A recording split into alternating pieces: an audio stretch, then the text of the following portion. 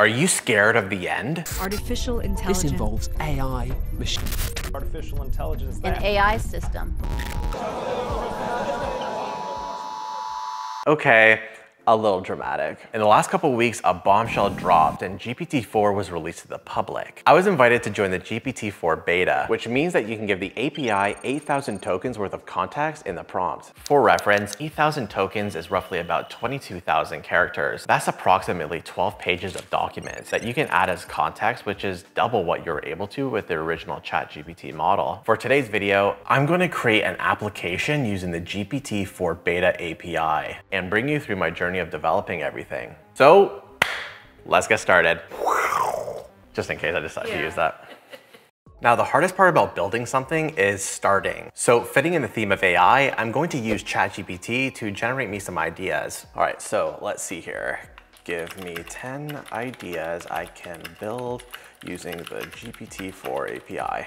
Now the first one, AI content generator, seems like a good idea, but I'm already kind of working on that with Caspr AI, so make sure you guys join the waitlist, link in the description. Now I like this idea, an AI-powered business coach. Create a platform that offers personalized advice for entrepreneurs and small businesses, such as market analysis, financial planning, and operational efficiency tips. Okay, cool. Let's just start with a mockup. I'm gonna pop open Figma and design a little web application. Here's what I'm thinking. Let's create an application where you name your business, you give it a detailed information on what you want it to do, and give it information on how it would make money and give some market research and analysis. Then our software will analyze if your business is a good idea and if you should pursue it or not. After that, it can probably give you some financial data and projection based on the information you give it. Now, looking at the design, it's pretty obvious that I decided to go into development and not design. I apologize in advance because this looks pretty awful. Now that I have the visual aspect of this finished, let's think about how I would develop this in some sort of pseudocode. One, using Svelte, create a web page that allows you to insert values into a form. This will allow you to submit data to the server. The server, in this case, would be a Lambda function on AWS. Now, if you don't know what Lambda is, I have a video on this about serverless functions. Make sure you go check it out. Short story though, is that it just runs code for you without you managing a server and just bills you the amount of time it takes to run the function. So in the server, ask GPT-4 to get business names as an alternative to what was given.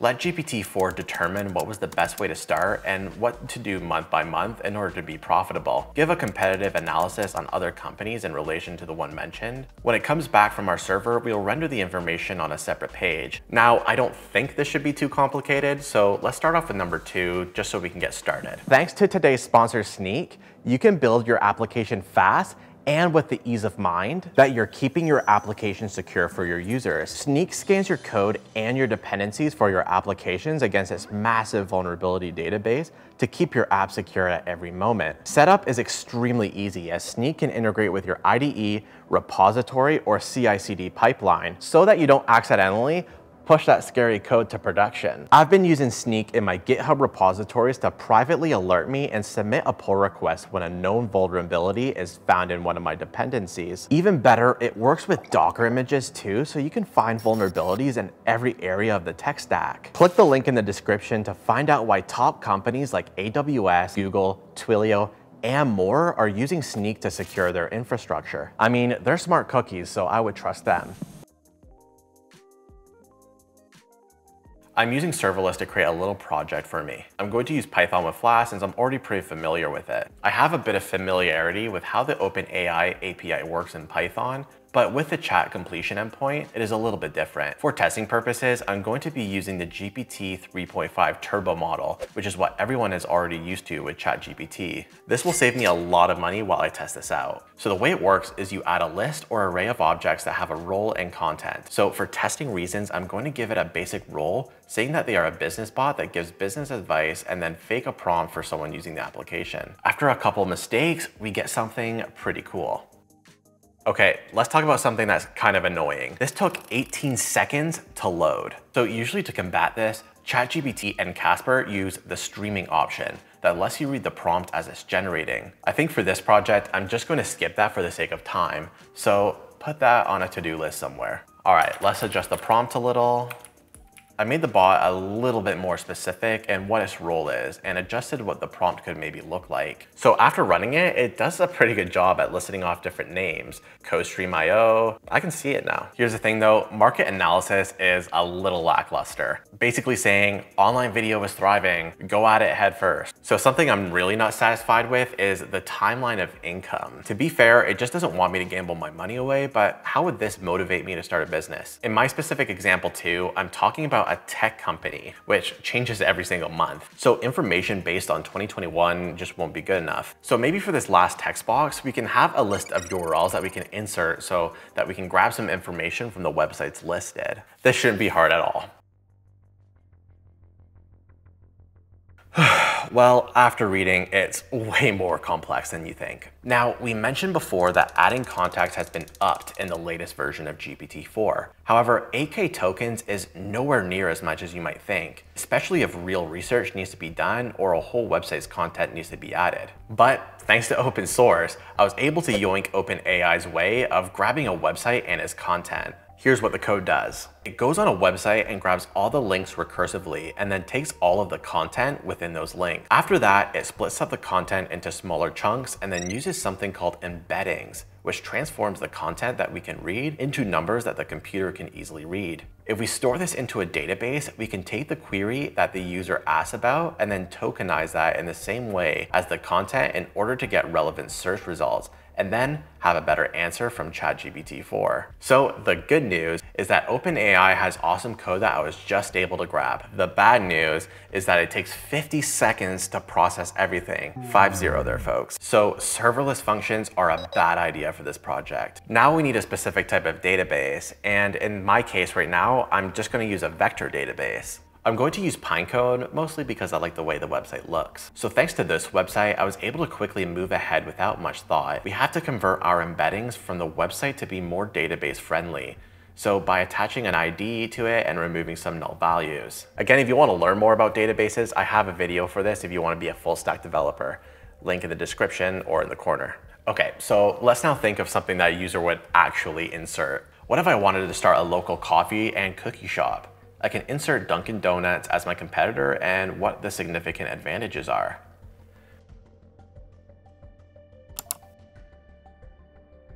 All right, this is actually starting to look pretty awesome.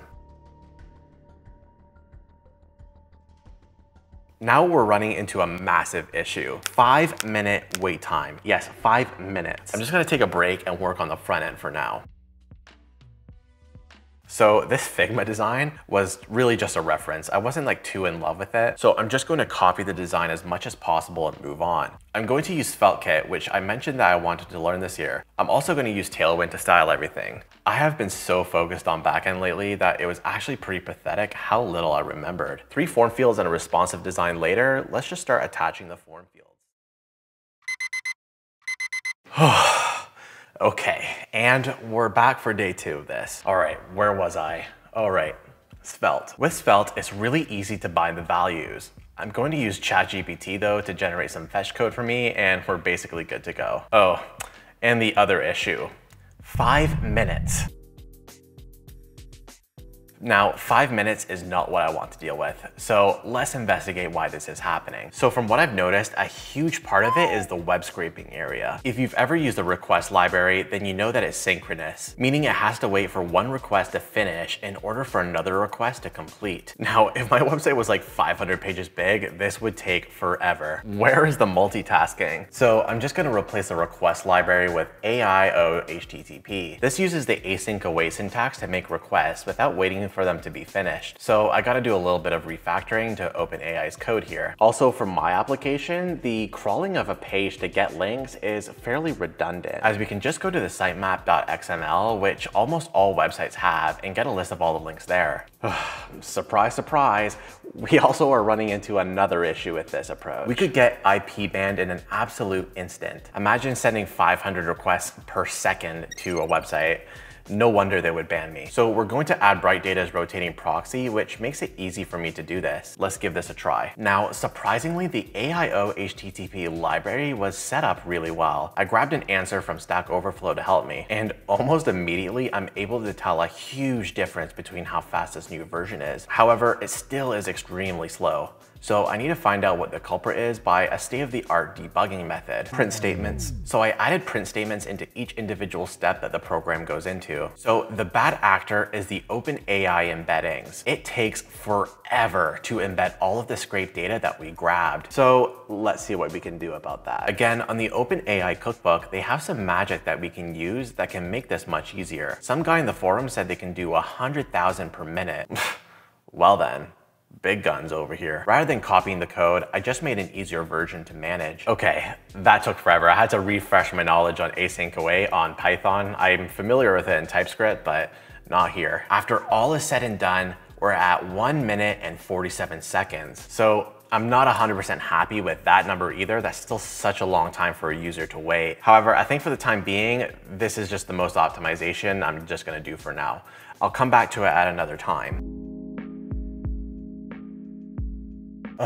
Now, this was the part I was trying to avoid but it's time to bite the bullet. We have to move this to another project and Dockerize it, meaning that we're gonna run it in an isolated environment. If you don't know what Docker is, it's a little complicated, but think about you having your application isolated in its own virtual machine. This will be good for me since we have some dependencies we have to add on, like the proxy that scrapes the data, as well as maybe if we want to add a database, a web server, if we end up deploying this bad boy, etc. Maybe this is a tomorrow issue though, since since it's getting kind of late already. Look at that. It's dark outside. It's dark outside, okay guys? Good morning. It's day three of our project and it feels so good to wake up this early.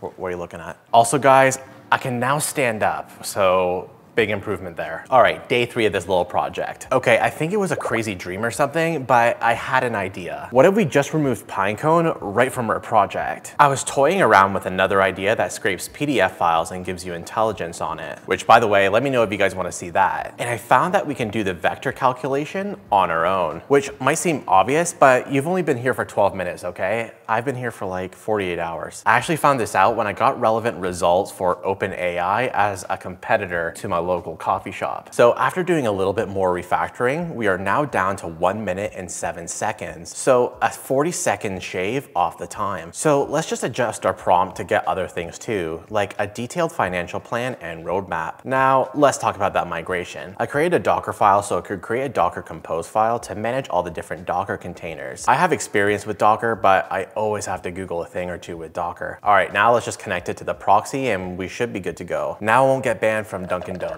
Last thing to do is just format this in a way on the front end and then also include that repository in the Docker containers just so that we can do the whole thing in one command. All right, I'm just gonna add a little bit more logic to this Svelte side of things.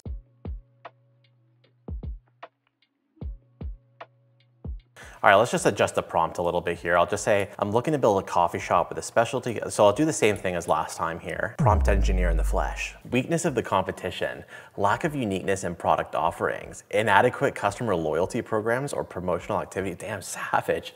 Inefficient emphasis on the quality and freshness of ingredients. Geez, like really is getting to the bottom of this hire and train. So it's giving me a financial breakdown and everything with everything here. That's honestly so awesome.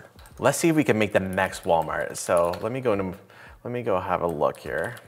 I am looking to build a corporate um, Superstore. This Walmart one, based on the provided context about Walmart, we can identify some weaknesses as integration, integration of physical and digital assets. Walmart is still working towards achieving, achieving seamless integration between their on, okay, cool. Um, and then I even like how it gave me a little bit of, of uh, thing. So month one to three, conduct market research to understand the specific needs and preferences of your target customers in the area. So I got another idea. What if we wanted to make our own Powerade or new drink? So Lou, Lou-Raid, as we're gonna call it.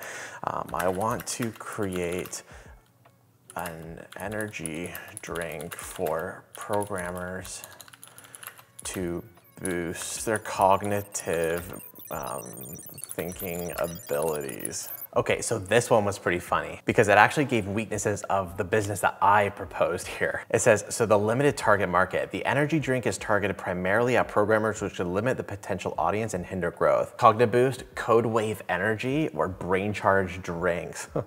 wow, okay. Hello. Hello, hello, hello. So we created an API with Flask that takes in a business name, your idea, and some competition that you have. At the exact same time, it grabs all the information of your competitors' websites and throws it into a data frame. We then take this information, chop it into little segments, you know, so we don't get that pesky token limit. We then embed all of this text so it can be seen and recognized by a smart computer AI. We then embed your prompt to search the database of embedded text, whatever, and the most relevant information that comes back, we add as context for GPT-4 to recognize. Seriously? And voila, your business is, well, somewhat validated. Thank you so much for watching today's video. I had a blast making this app with GPT-4, so let me know in the comments what you'd like to see next. I'd be happy to build it. Also, if you're interested in trying this for yourself, I'm gonna open source this probably by this weekend by the time this video comes out. Check the link in the description, it might already be there. Make sure you check out my new startup too, which is Caspr.ai. The waitlist is down in the description as well. Peace out, coders.